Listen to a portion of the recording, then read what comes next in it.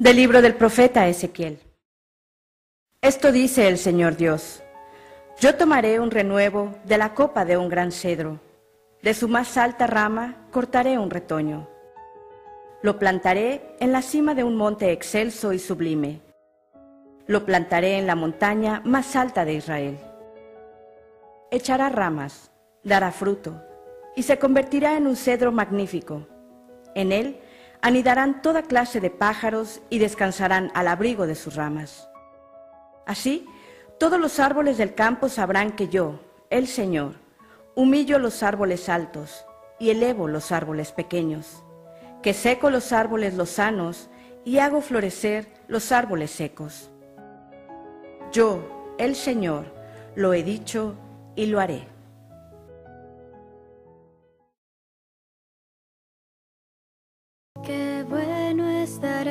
Gracias, Señor.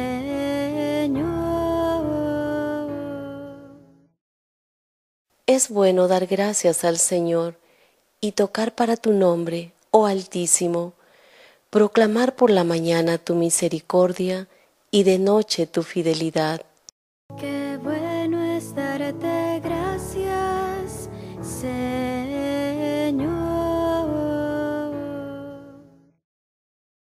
El justo crecerá como una palmera, se alzará como un cedro del Líbano, plantado en la casa del Señor, crecerá en los atrios de nuestro Dios. Qué bueno es darte gracias, Señor.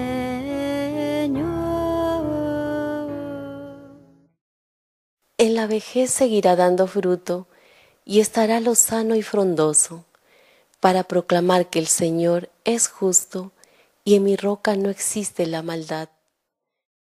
Qué bueno es darte gracias, Señor.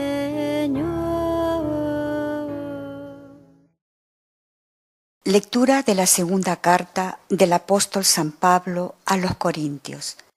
Hermanos, siempre tenemos confianza, aunque sabemos que, mientras vivimos en este cuerpo, estamos desterrados lejos del Señor. Caminamos sin verlo, guiados por la fe.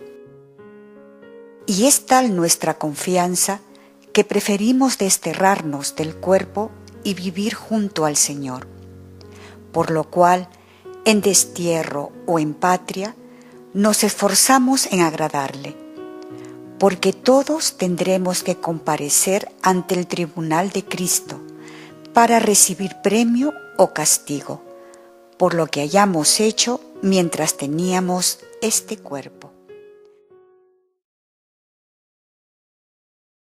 Evangelio según San Marcos. En aquel tiempo Jesús dijo a la gente, El reino de Dios es como un agricultor que esparce semilla en la tierra. Día y noche, sea que él esté dormido o despierto, la semilla brota y crece, pero él no entiende cómo sucede. La tierra produce las cosechas por sí sola. Primero aparece una hoja, luego se forma la espiga y finalmente el grano madura. Tan pronto como el grano está listo, el agricultor lo corta con la hoz porque ha llegado el tiempo de la cosecha. y decía, ¿Cómo puedo describir el reino de Dios? ¿Qué relato emplearé para ilustrarlo? Es como una semilla de mostaza sembrada en la tierra. Es la más pequeña de todas las semillas, pero se convierte en la planta más grande del huerto. Sus ramas llegan a ser tan grandes que los pájaros hacen nidos bajo su sombra. Jesús empleó muchas historias e ilustraciones similares para enseñar a la gente, tanto como pudieran entender. De hecho, durante su ministerio público, nunca enseñó sin usar parábolas, pero después, cuando estaba solas con sus discípulos, les explicaba todo a ellos.